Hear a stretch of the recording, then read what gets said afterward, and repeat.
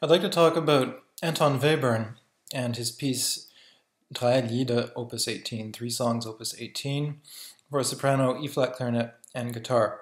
Uh, Webern is a composer that has been enormously talked about and discussed and studied and performed, um, but the the three songs, Opus 18, remain a relatively uh, seldom performed piece.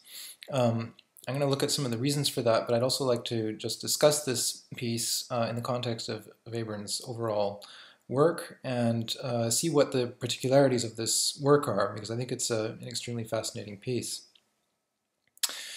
So we'll start off just with a, very quick uh, biographical sketch of Webern. So he was an Austrian composer uh, born in 1883, and he was killed in 1945 by an American soldier by accident, apparently, although the circumstances of his death remain somewhat um, uh, controversial. Um, and he was uh, a pioneer of extremely radical new composition techniques. And uh, Webern is a very interesting figure because he started out in his career writing basically late romantic music, um, extremely expressive, intense, uh, lyrical uh, music but from the very beginning, he had a tendency to express himself in an extremely compact, um, condensed manner. And even in his uh, tonal pieces, his very earliest uh, pieces written in, a, in, this sort of late Romantic idiom, um, you can see that Webern is sort of struggling to develop his ideas. It doesn't really come naturally to him, and it's not really his native form of expression in a certain sense. And um, after this initial period, which basically was his student period, except for the first couple of opus numbers, uh, when he's writing tonal music, um, he eventually has uh, the insight that um, perhaps the the key signature um, that was a, a, feature of Western art music for centuries was basically no longer relevant whatsoever to his practice, and um, this is something that was pioneered by his teacher Arnold Schoenberg uh, who started writing uh, atonal pieces. In other words, uh, pieces that uh, have no tonal center whatsoever. They don't have a key signature. They don't have uh, tonic and dominant polarities. They basically uh, allow the composer to pretty much write any notes that he or she wishes in any order whatsoever. And this was an extremely interesting period historically because for the first time there was no real hierarchy. There was no real particular uh, technical method for dealing with this uh, extraordinary amount of freedom that composers who were writing in this style suddenly had. So it was extremely difficult and challenging for Webern and for Schoenberg to navigate this crisis. Now, what's interesting is that you still do see the sort of general shape, the general outline of, of romantic uh, gestures uh, in this music. So even if the the harmonic uh, and melodic language is, uh, is very different. These are still composers that are coming out of and completely steeped in the, uh, the sort of uh, Germanic uh, musical tradition. So it's not completely alien, but uh, it certainly goes a long way there. So um, I mentioned Arnold Schoenberg and Schoenberg and Webern, along with Webern's uh, close contemporary Alban Berg, who was born two years after Webern in 1885. Uh, these form the three composers of what is commonly known as the Second Viennese School, the first Viennese School being the sort of classical masters like uh, uh, Schubert and Mozart. So the Second Viennese School uh, were uh, basically a group of extremely radical composers devoted to experimentation, but also not really seeing themselves as radicals. They, they felt that they were sort of um, carrying on the natural extension of the Germanic tradition. Um, and uh, it's, it's actually very interesting that, uh, that they would feel this way because uh, they profoundly upset the, the musical order of their time while at the same time claiming to be in the heritage of uh, their immediate forebears, uh, particularly Mahler, for example, but also Richard Strauss, and uh, but also Brahms, uh, uh, Wagner, all of these sort of late Romantic uh, figures. Um, so Webern was a very marginal figure in his lifetime. He was certainly uh, known and had a certain notoriety, but he wasn't performed very often. He had a very, very difficult time making his living. Uh, basically, uh, alternated between uh, teaching privately, for the most part, um, getting the occasional commission, and uh, and conducting. Although, um, as he got into his 40s and 50s, he had less and less work of this nature, and certainly the the, the world wars made it very, very complicated for him to make a living and this was not helped at all by his uncompromising uh, musical vision, of course, which uh, resulted in him being shunned and mocked and uh, maligned in all sorts of ways during his lifetime. So this was not a sound uh, um, uh, vocational uh, choice that Webern made in deciding to write this way, but he had such a, an unbending conviction that this was the only way that he could do it, and this was the only sort of uh, logical extension of, of uh, Germanic musical history. Uh, all of these composers had a profound sense of their own historicity and a sense of their place in history, the sense of the, the, the, the significance of their actions and the consequences that this would have for future generations. Uh, but in fact, Webern was actually completely correct in the sense that um, the generation of composers that came immediately after him, very, very shortly after his death, actually, starting in the late 1940s, um, were profoundly, profoundly influenced by him. In fact, it wouldn't be an exaggeration to say that the entire 20th century, well, not the entire 20th century, but after the certainly the post-war period, would have been utterly different had it not been for Webern. And not only did he influence the, the sort of the, the, next generation of composers, so that would be people like uh, Boulez and Stockhausen, Luigi Nono, uh, Maderna, and so on, but also the, the several generations that came after that. And you could certainly make the claim that uh, today's composers are still, to a certain degree, uh, under the influence of Webern, whether they realize it or not, because so many aspects of his music have simply become absorbed. Um, so I want to look at this particular work, Opus 18, which is a very eccentric work, even by Webern standards, with a, a very unusual instrumentation.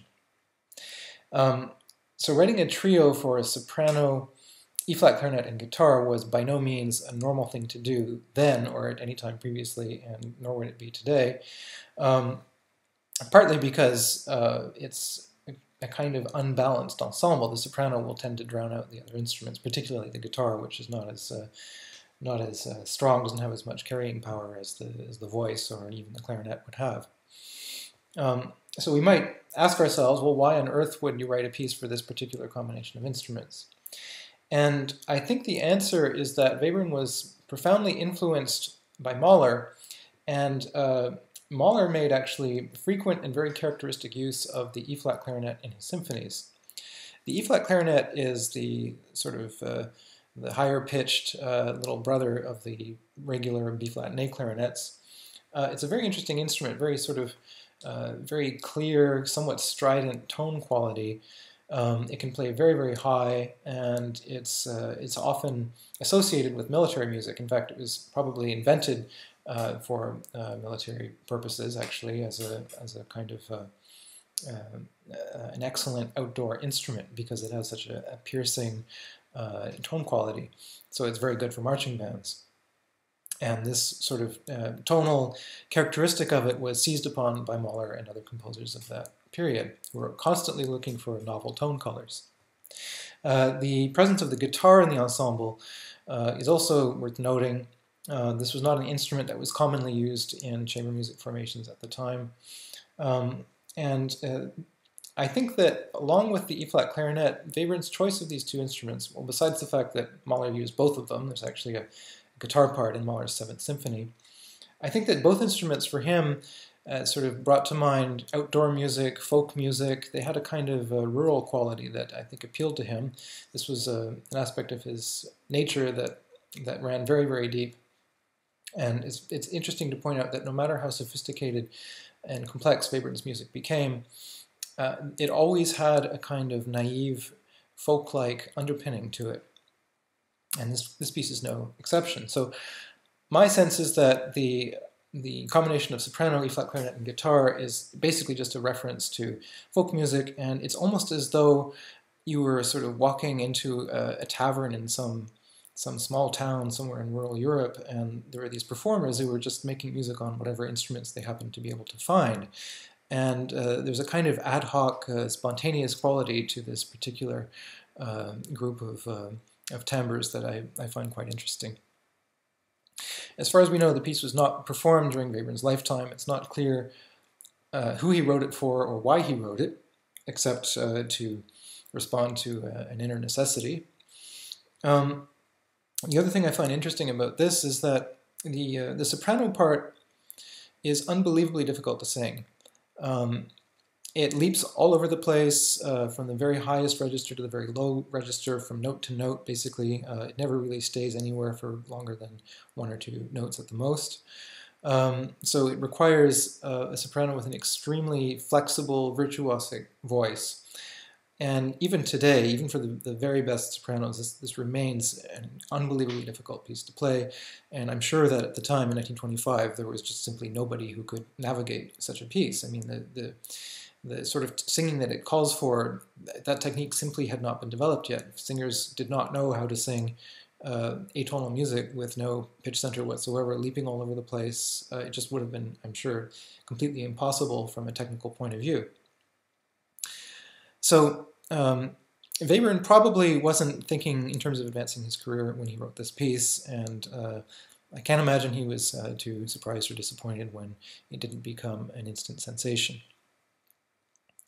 Uh, the other aspect of this piece that I find uh, fascinating, but that also proved problematic for audiences when they eventually did hear it, uh, and this is typical of Webern's music in general, is its extreme concision.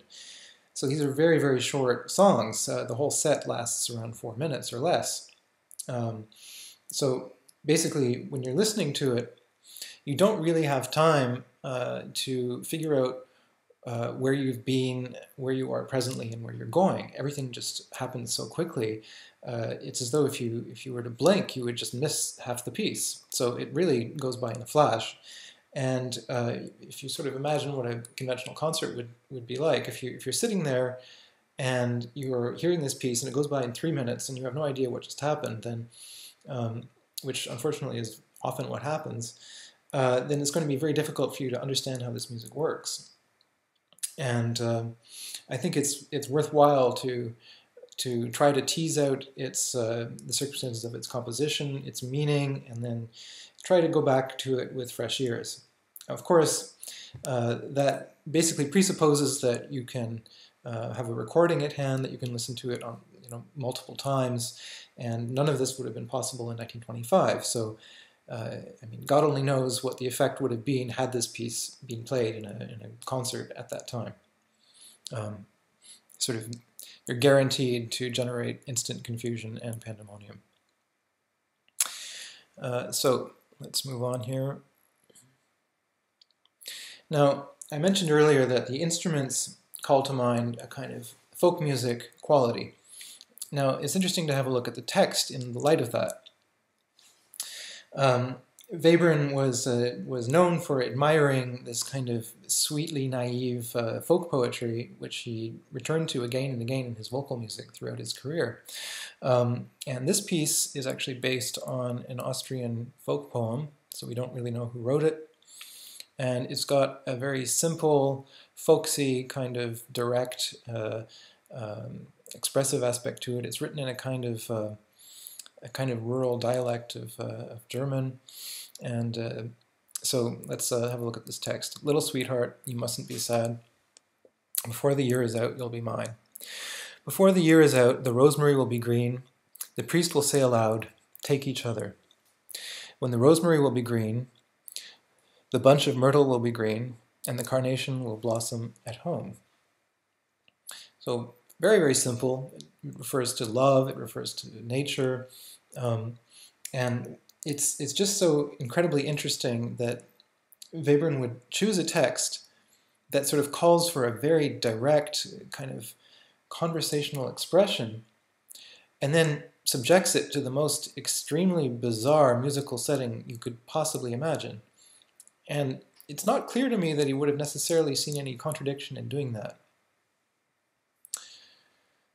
So let's talk about how he actually went about setting this to music. Uh, Webern uh, started using the 12-tone technique not long after Schoenberg invented it in 1921. He started uh, explaining it to his pupils uh, in 1923, and uh, Webern more or less immediately started experimenting with it. And this particular piece is one of the earliest uses of the technique in Webern's music. That being said, uh, he uses it in a very peculiar way in this piece, a very rudimentary way. He hadn't quite figured out exactly how this technique could be used um, in a flexible way. So in this particular piece, he takes the the, uh, the chromatic scale, the 12 notes of the, of the chromatic scale, uh, puts them in a fixed order, and then sort of reels them off again and again and again. So uh, Schoenberg and, uh, and later pieces by, by Webern make a somewhat more uh, elaborate use of this system by incorporating transpositions, retrogrades, inversions, and so on, but there's none of this in this piece. You simply have the same sequence of pitches repeated again and again and again, uh, but in constantly varying configurations and different octave placements as well.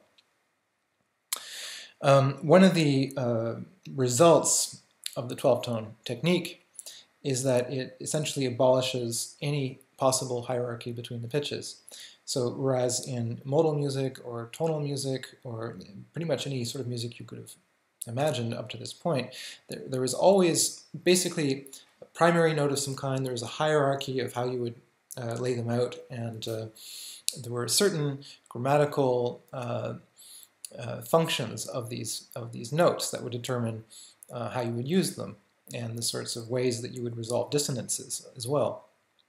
Well, the 12-tone technique basically does away with all of that and uh, basically uh, abolishes any uh, sense of there being a primary pitch. And part of the way that it does this is that according to the technique of 12-tone composition that Schoenberg laid out, uh, you don't repeat a pitch until all 12 have been heard.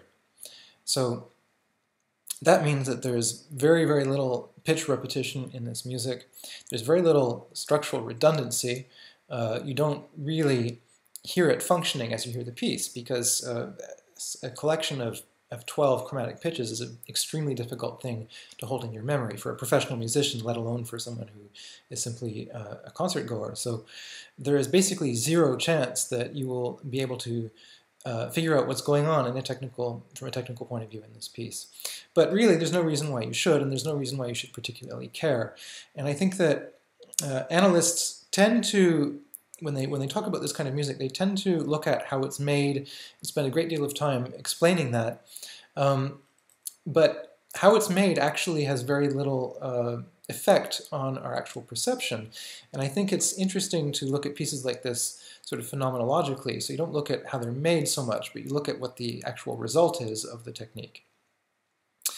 And one of the results of this technique uh, is that you have a sort of a sense of listening to a kind of permanent explosion where the piece is constantly moving, it's constantly changing and, and turning into something else at, at, at all times, basically.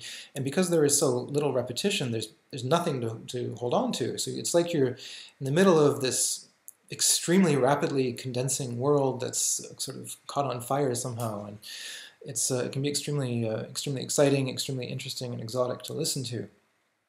But if you go at it listening, uh, basically looking for uh, conventional development strategies or themes that you can recognize and so on, um, then that's not going to happen. So that's part of the reason why uh, a lot of audiences have found this music so challenging. Um, just to give a sort of background to the expressive world of, uh, these composers and to the sorts of music they were, they were writing at the time, I think it would be illuminating to look at a letter that Schoenberg wrote to Busoni around this time. So Schoenberg writes, Harmony is expression and nothing else. Away with pathos, away with protracted 10-ton scores. My music must be brief, concise, in two notes, not built, but expressed. And the results I wish for, no stylized and sterile protracted emotion. People are not like that. It is impossible for a person to have only one sensation at a time. One has thousands simultaneously, and this variegation, this multifariousness, this illogicality which our senses demonstrate, the illogically presented by their interactions, set forth by some mounting rush of blood, by some reaction of the senses or the nerves, this I should like to have in my music. So interestingly, what he seems to be saying is that this is actually a more accurate depiction of how people actually think, feel, and perceive, uh, in the sense that we don't sort of receive information in an ordered, um, clear, logical way. We receive all sorts of sensations simultaneously, and uh, so the, the 12-tone music has a, a vaguely kind of uh, uh, psychedelic aspect to it in the sense that the, the filter is off. You're not going to have your attention focused on one thing for long enough for it to manifest as an object. Instead, you're going to be sort of having this uh, this extremely uh, complex experience in which you cannot possibly apprehend and uh, and categorize and uh, and uh, sort of filter through the the different strands of it in the way that you normally would when listening to a piece of music. So let's just have a quick look at the, the actual 12-tone row that Webern uses in this piece. I don't want to spend too much time on it simply because um, it's completely irrelevant to what you actually hear when you are listening to the piece. You're not going to be able to remember this tone row. You're not going to be able to recognize it when it's used in the piece, partly because of the way Webern actually uses it. But just to give you an idea of what it is and um, what this sort of abstract entity uh, were to sound like if we were to isolate it, I'm going to just play it.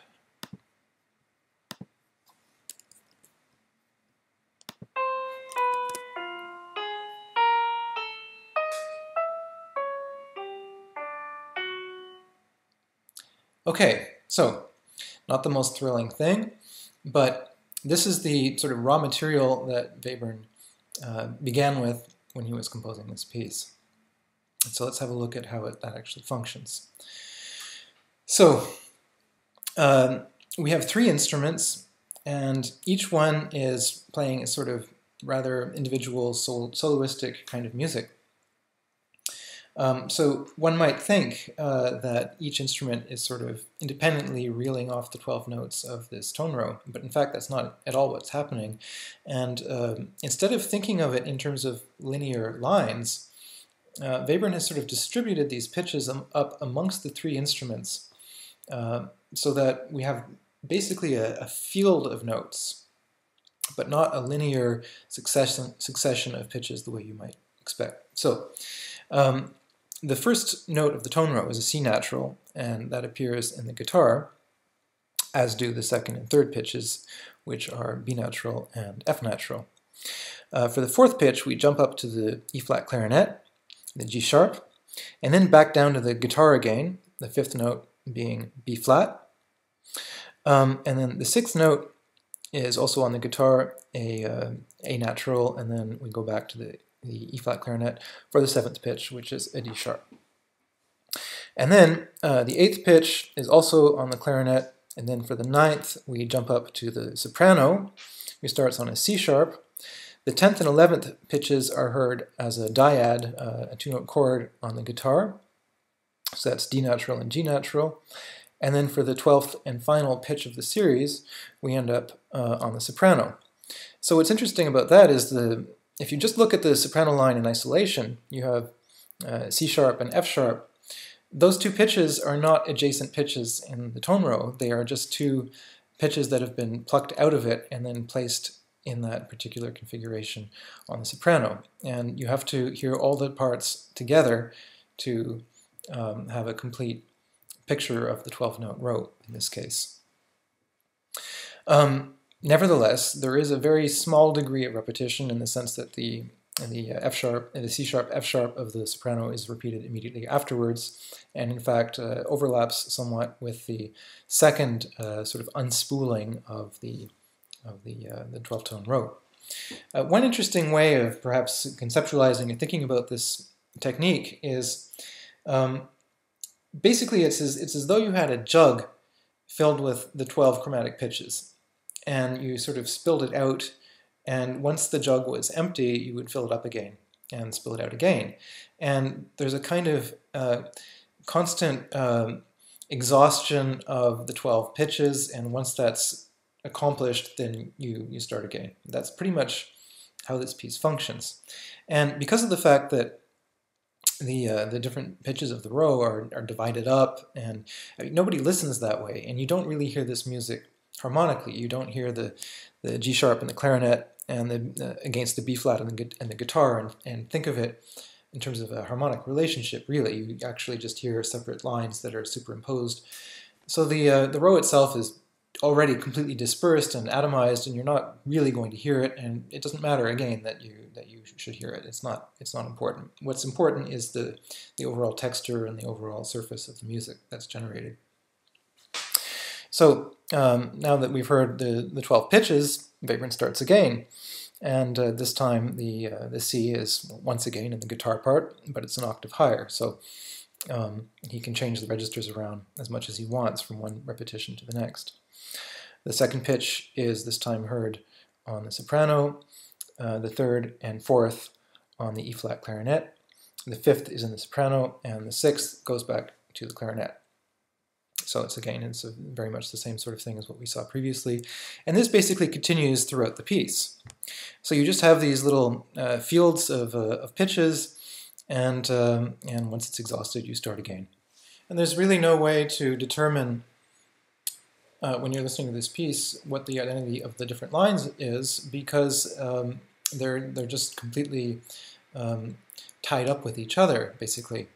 Um, so, for example, if you look at the soprano part and the clarinet part, the writing is basically the same. There's very little uh, to separate one from the other, which is extremely unusual to say the least. I mean, normally you would write for a voice uh, in a rather different way than you would write for um, a clarinet or a, or a, guitar, but the, the types of figurations and the types of um, uh, lines that are being given to each instrument are strikingly similar.